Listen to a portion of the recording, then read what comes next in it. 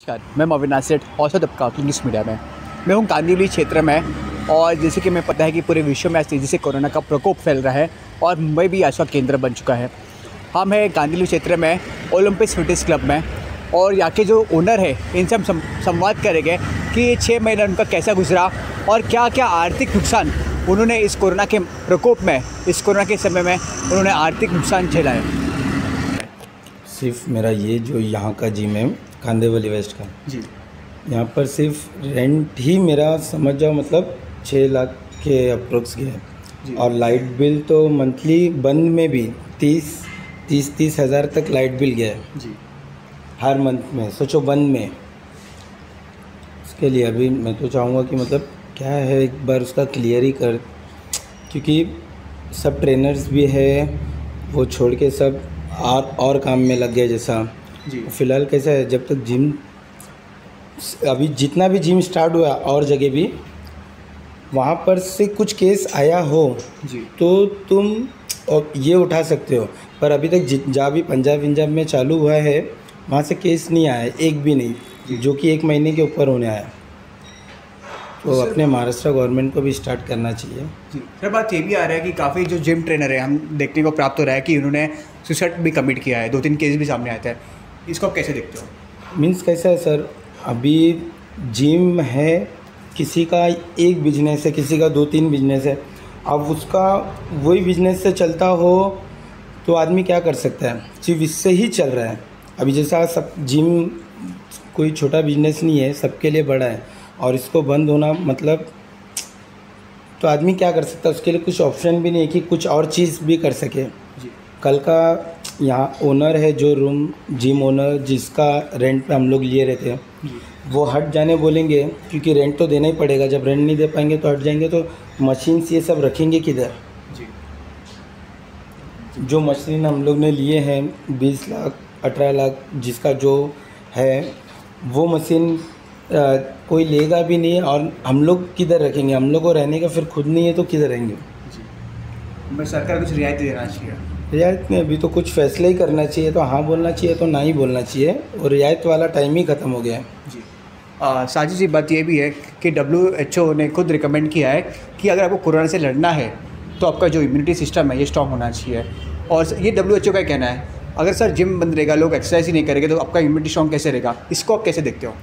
जब इम्यूनिटी है ही नहीं जब जिम ही नहीं चले तो फिट कैसे रहेंगे? जी। कोरोना से लड़ेंगे क्या? जब वर्कआउट ही नहीं करेंगे जब फिट नहीं रहेंगे तो कोरोना से लड़ नहीं पाएँगे ना। इसके लिए सरकार से ये है हमारी अपील क्या है जल्द से जल्द जिम चालू कर दिया जाए। सर बात ये भी है जो लिकर शॉप है वो चालू है।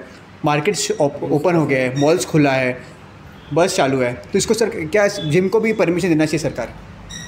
इसके लिए तो बोल रहे हम लोग सरकार को सरकार को समझना ही चाहिए।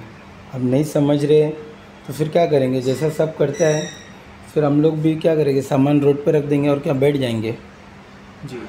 फिर वो हो जाएगा मतलब क्या ओपन जिम। जी। तो अभी क्या करेंगे ओपन जिम बोल रहे सरकार या तो सरकार को बोल दे कि रोड पे हम लोग अपना जिम बना ले। तो हम लोग ओपन जिम कराते। उसका तो दे सकते हैं ना ओपन जिम का ऐसा परमिशन। अभी हम लोग का ओपन जिम नहीं है। ओपन जिम मतलब कोई हर हर बीएमसी का जितना गार्डन है सब दे दे हम लोग को। तो हम लोग अपना जिम उधर पे सब मशीन लेके जाए और ओपन ओपन जिम कराए। जो कैसा है जॉब नहीं है किसी को कुछ नहीं है तो जिम ट्रेनर कोई जोमेटो में काम कर रहा है कोई अलग अलग जॉब कर रहा है कोई रिक्शा चला रहा है कोई आलू कांदा बेच रहा है। बहुत जन तकलीफ़ में है। जब जल्द से जल्द जितना हो सके जिम खोल दिया जाए। मुंबई में अधिकांश में जो जिम ट्रेनर है और जिम चालक है उनका उनका सरकार से ये निवेदन है कि जल्द से जल्द जो सरकार है वो जिम खोले। परंतु बात ये भी है कि जो जिम चालक है कि वो सैनिटाइजेशन का जो कार्य है वो ठीक प्रकार से और व्यवस्थित रूप से कर पाएँगे कि नहीं? सर जो बात ये भी आता है कि जो सैनिटाइजेशन का जो कार्य है कि आपका जो मशीन्स है उसको बार बार हर समय में आपको उसको सैनिटाइज करना है और एक डिस्टेंस होना चाहिए सोशल डिस्टेंसिंग जिम में हो सकता है कि ये सब पालन हो सकता है गाइडलाइंस क्यों नहीं हो सकता सर? हो सकता है इसके लिए तो हम लोग ने दिए सरकार को।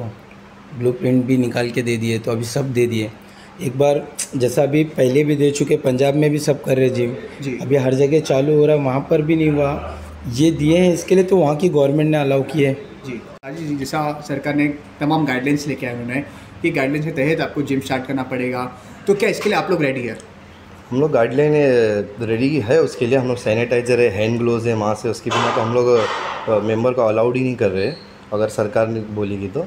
और हमारी सब जितनी भी मशीन है एक एक फुट की दूरी पर है। और एक एक फुट की दूरी पर है। और जितने मेंबर सब एक एक फुट की दूरी पर रहेंगे। गाड़ी तो अगर हम लोग खुद नहीं चाहते कि महामारी फैले कोरोना फैले जी। सरकार से निवेदन है कि जल्द से जल्द हमारा जिम चालू कर दे। जी, धन्यवाद सर मुंबई में अधिकांश में जो जिम ट्रेनर है और जिम चालक है, उनका उनका सरकार से ये निवेदन है कि जल्द से जल्द जो सरकार है, वो जिम खोले। परंतु बात ये भी है कि जो जिम चालक है कि वो सैनिटाइजेशन का जो कार्य है, वो ठीक प्रकार से और व्यवस्थित रूप से कर पाएँगे कि नहीं? सर जो बात ये भी आता है कि जो सैनिटाइजेशन का जो कार्य है, कि आपका जो मशीन्स है, उसको बार बार हर समय में आपको उसको सैनिटाइज करना है और एक डिस्टेंस होना चाहिए सोशल डिस्टेंसिंग जिम में हो सकता है कि ये सब पालन हो सकता है गाइडलाइंस से नहीं हो सकता सर? हो सकता है इसके लिए तो हम लोग ने दिए सरकार को। ब्लू भी निकाल के दे दिए तो अभी सब दे दिए। एक बार जैसा अभी पहले भी दे चुके पंजाब में भी सब कर रहे जिम जी। अभी हर जगह चालू हो रहा है वहाँ पर भी नहीं हुआ। ये दिए हैं इसके लिए तो वहाँ की गवर्नमेंट ने अलाउ किए